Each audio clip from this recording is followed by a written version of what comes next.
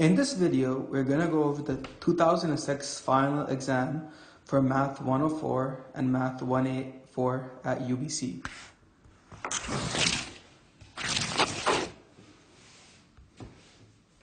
The exam, this exam contains of two parts. One part is short answer problems, uh, each of them worth three points, and mm, they are relatively easy questions. Uh, let's do part one first. The first question is saying, for what values of c this function is always continuous? A function is always continuous when lim of the function and value of the function at all points are the same.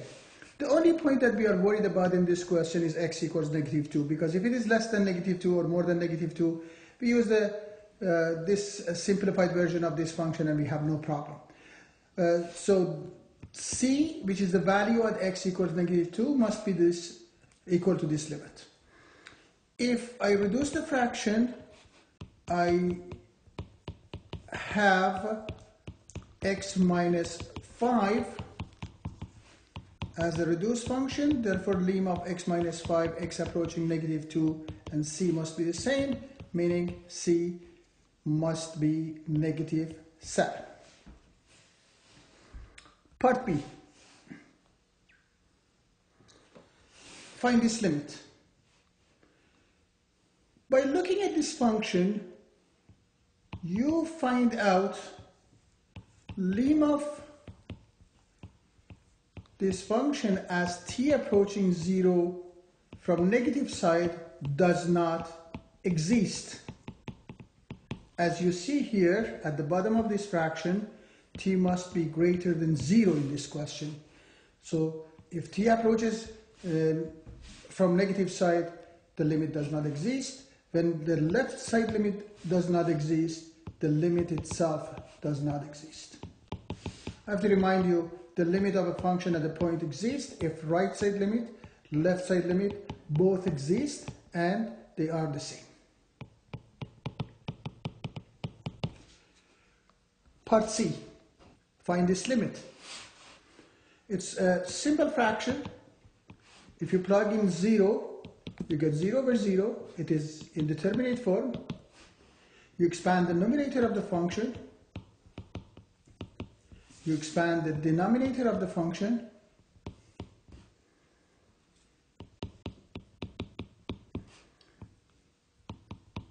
Nine and nine cross out.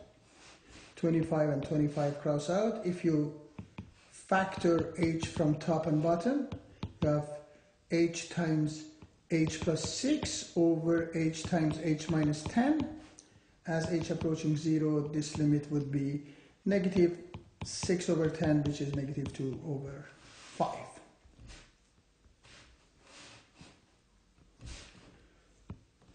So in order to find the limit, you, you usually plug in the number. If you get the number that is the limit, if you get 0 over 0, then you reduce the fraction and uh, plug in the number again. So Part D is a business related question about compound continuously, compounded continuously at rate of 6%. You're looking for a time that your money triples. Uh, the formula is A equals P0 e to the power of RT. As you know, P0 is the original amount of money R is the rate, T is time, and A is the future value of your investment. So PO e to the power of 0.06t, 3PO, triple. You reduce both sides by PO, you get e to the power of 0.06t equals 3, meaning 0.06t equals line of 3. Therefore, t is line of 3 over 0.06, which is approximately 18.3 years. Ex equals b if and only if x is line of b is the formula that I used. Part E, At what point on the graph of the function is the tangent line parallel to this line? The slope of this line is 3. Therefore, we find the derivative of the function, which is 2x plus 1. Then we make it equal to 3. We find x equals 1. Plug 1 into the original function, y would be 9 over 4. Therefore, at 1 and 9 over 4, the tangent line is parallel to y equals 3x plus 1. Very simple question. The next one, part F. For what x does the graph of this have slope 0? Slope 0 means derivative 0.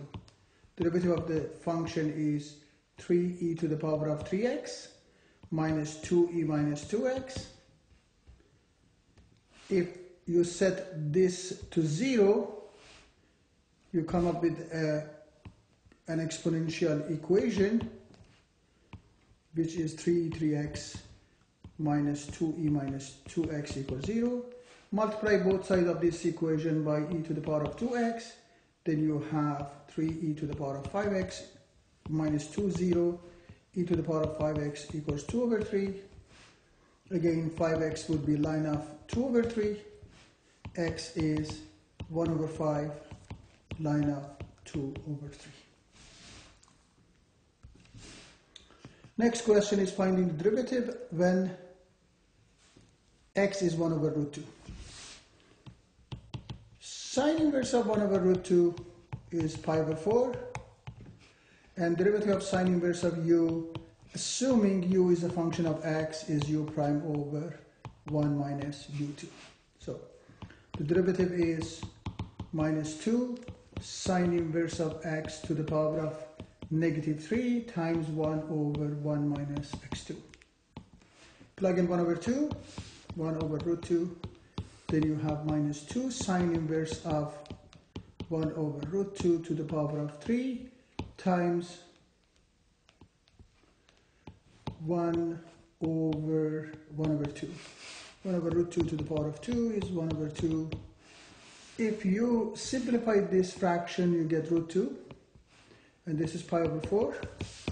Therefore, f prime of 1 over root 2 is minus 2 times pi over 4 to the power of 3 times root 2.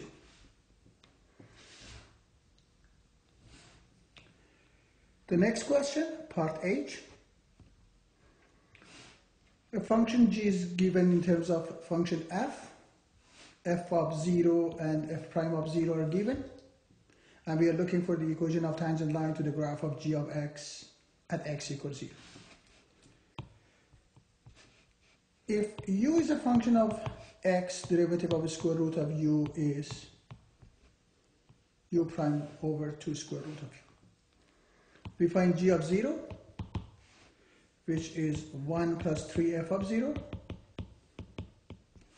it is 2 because f of 0 is given in the question 1 3 times 1 is 3 plus 1 is 4 square root of 4 is 2 then we find g prime of x which is 3 f prime of x over 2 square root of 1 plus 3 f of x. We find the slope is g prime of 0, you get 3f prime of 0, 3 times 4, divided by 2 times square root of 4. Simplifying this, 12 divided by 2, 4, y minus y1 equals m times x minus x1. 1, uh, y1 is 2, 3 times x minus 0, therefore y equals 3x plus 2 is the equation of tangent line to the graph of g of x at the given point. Next question, part I. y is a function implicitly defined by the given equation. Find dy dx in terms of x and y. It's implicit differentiation. Derivative of y is dy dx. Derivative of line of y plus 3 is 1 over y plus 3 times d by dx equals 2x. I took the derivative from both sides. Factor dy dx. You have 1 plus 1 over y plus 3 equals 2x. A little bit calculation here, which is y plus 4 over y plus 3. Therefore, dy dx would be 2x times y plus 3 over y plus 4. Cross multiplication isolated for dy dx. Very straightforward. The only thing here is derivative of line of u, if u is a function of x, is u prime over u as u. Part J, for what values of x is this function increasing? We find the derivative of the function, we apply quotient rule. If prime of x is 1 over x plus 1 times x plus 1, derivative of numerator times denominator, minus derivative of denominator times numerator. 1 plus n of x divided by x plus 1. If you reduce the fraction, you see 1 and 1 get cancelled, and you simplify it. The derivative you have is. Set the derivative 0. Uh, fraction 0 means numerator is 0. By solving this simple logarithmic equation, you have x plus 1 equals 1, x 0. So we draw the sign chart for derivative of the function. x starts from negative 1 because log of negative does not exist. At 0 it is 0, positive infinity. Plugging a number more than 0, I pick e minus 1 and I see it is negative, positive. Therefore function is increasing, decreasing, meaning for x between negative 1 and 0, f of x equals 1 plus line of x plus 1 over x plus 1 is increasing.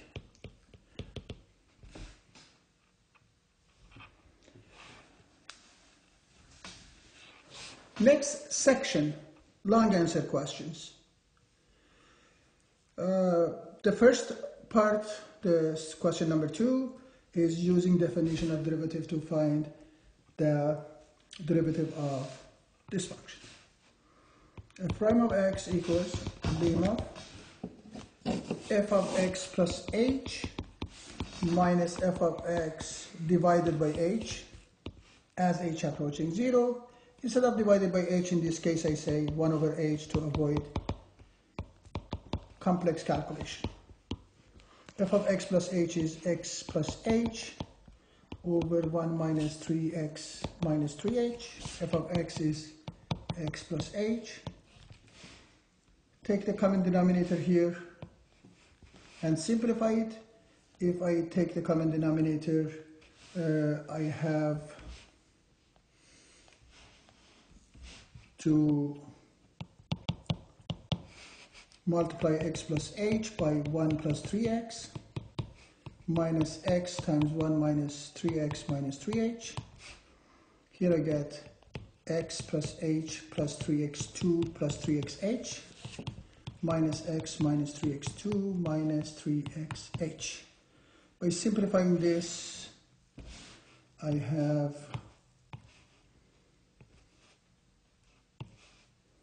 h. Therefore, this fraction can be written as 1 over h times h over 1 minus 3x minus 3h times 1 plus 3x. Here I basically took the common denominator calculation h and h cross out. Instead of h put 0. Then you have 1 over 1 minus 3x to the power of 2. There is a correction here. This should be 1 minus 3x as original function is 1 minus 3x. And here we have 1 minus 3x as well. Question number 3. A restaurant charges $7 for appetizer and they have 60 clients. So when price is six five dollars, they have sixty clients, and then when it is, I'm sorry, seven dollars. And when it is five dollars, they have sixty-six.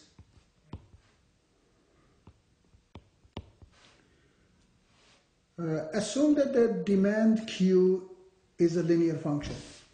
By having these two points, we find the slope, and we see slope is negative 3. We write the equation of the line passing through these two. We'll see the Q, the demand, uh, the quantity is minus 3p plus 81. Now we are looking for profit function. Profit as a function of price is PQ minus cost function. P times minus 3P plus 1. Cost per unit is 3. Quantity is 3P plus 81. Simplifying this function, you have minus 3P2 plus 81 and 9 plus 90P and minus 243. So this is the profit function. Now I have to take the derivative of this function and find the maximum profit. Profit is minus 6p plus 90p. Set it to 0, you have p equals 90 divided by 6, which is 15. And in order to make sure that this gives you the maximum, you say P starts from 0, 15, and after 15. Uh, before this is going up, then goes down, so profit is maximum when P is 15. The next question is a curve sketching. Find the interval or intervals in which f of x is increasing. Increasing, we find the prime of x, which is 2 times x2 plus 1 minus 2x times 2x over x2 plus 1 to the power of 2. If you simplify this, you get 2 minus 4x, 2 minus 2x2 divided by x2 plus 1 to the power of 2. Now we have to draw the sign chart for derivative to find out when it is increasing and when it is decreasing. So x, f prime of x, at negative 1 and 1 it is 0. Derivative equal to 0 means numerator of the derivative is 0. That means this part 0. By solving this equation you get x plus minus 1. Then you plug in the number. A number more than 1 makes it negative, positive and negative, decreasing, increasing and decreasing. Interval of increase means x between negative 1 and 1, it is increasing. The interval in which the function is concave up. We need second derivative. You use quotient rule. On the first derivative, you find the second derivative. If you do the calculation and simplify, this would be the second derivative of the function. Uh, now, what you do is draw the sign chart for second derivative at negative 1 and 1, uh, at negative root 3, 0 and root 3, second derivative is 0. Then you have positive, negative, positive, and negative, concave down, concave up, concave down, and concave up. Therefore, it is concave up when x is between negative root 3 and 0 or x more than root 3. Sketch the graph of the function indicating the x coordinate of any point of inflection, maximum, minimum. Obviously, this point is local max, local mean, or the other way around. Local mean, local max, and you have three point of inflection at these three points. Okay.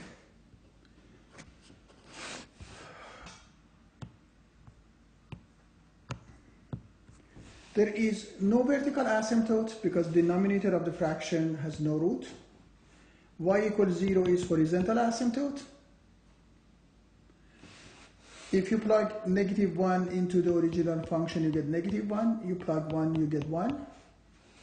You plug 0, you get 0. You plug root 3, you get 2 root 3 over 4, which is root 3 over 2. Negative root 3 over 2. Uh, corresponding y values for this point and positive is here. So these are the actual point of inflections.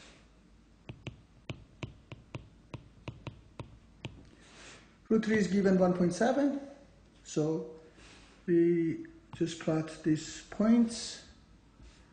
1 and 1 is the maximum and then 1, negative 1 and negative 1 is the minimum. Root 3, which is 1 of 1.7, and root 3 over 2, which is approximately 0.85. 0.85 is the point of inflection. Let's say this is 0.85. You have the same thing here. So, uh, as I said, y equals 0 is horizontal asymptote of the function. If you join these points you have the graph of these functions. This function. Uh, again, the function does not have any vertical asymptote. Next question. A carpenter has been asked to build an open box square base. It's a square base. And it has it's open top. Let's assume this is y. Again, it is a square base, that's why I used x and x. Uh, the sides of the box will cost $2 per square feet meter to build. You have four sides. 4xy is the area times 2, 8xy. Again, you have four sides the area of each of them is xy square meter. It's $2. 4xy times 2 is 8xy. And the bottom is $5. The area of the bottom is x2 times 5. And you have a budget, which is $60. So with this budget, you want to find the dimension that maximizes the volume of the box. Okay, this is a function of two variables. We find y from this equation, which is 60 minus 8xy divided by 5x2. Uh, let me, we are looking for y. 8xy equals 60 minus 5x2, this is correct. y equals 60 minus 5x2 divided by 8x. Now volume is x2y. I replace y with this. Then volume would be 60 minus 5x2 times x, which is 60x minus 5x3. I want to find the maximum of this function. Obviously, x is greater than 0, and there is a limitation on y2, but it is not related to the question. I'm looking for the maximum of the volume. I find the derivative of the volume as a function of x. It is 60 minus 15x2. If you set it to 0, you get x equals plus minus 2, but x starts from 0. So x is 0 to then b prime of x is positive and negative, meaning x equals 2 makes this maximum. If you plug 2 into the original, uh, into the, this constraint, you find the value of y. y would be 60 minus 5 times 4, 20, divided by 16, which is 40 divided by 16, which is, if you reduce it by 8, you come up with 2.5. So the dimension are x equals 2 and 2.5. That means 2, 2, and 2.5 gives you the maximum volume of the box with this budget constraint. Next question. The price is given. The price P and demand Q for a product are related by this equation.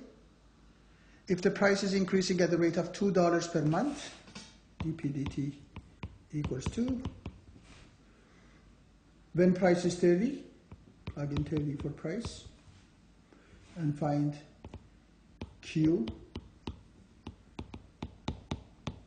Then 2Q2 equals 200. Q is going to be 10. The Q is actually plus minus 10, but minus is not acceptable. Find the rate of uh, change of revenue per month. We have P2 plus 2Q2 equals 1100. We take the derivative of both sides of this function with respect to t. We have 2p dp dt plus 2q dq dt equals 0. Now we plug in the numbers p, q, and dp dt. 2 times 30 times 2 plus 2 times q, which is 10, times dq dt equals 0.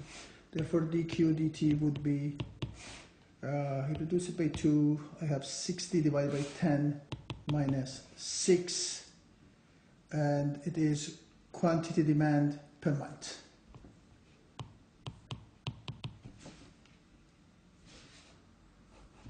Thank you.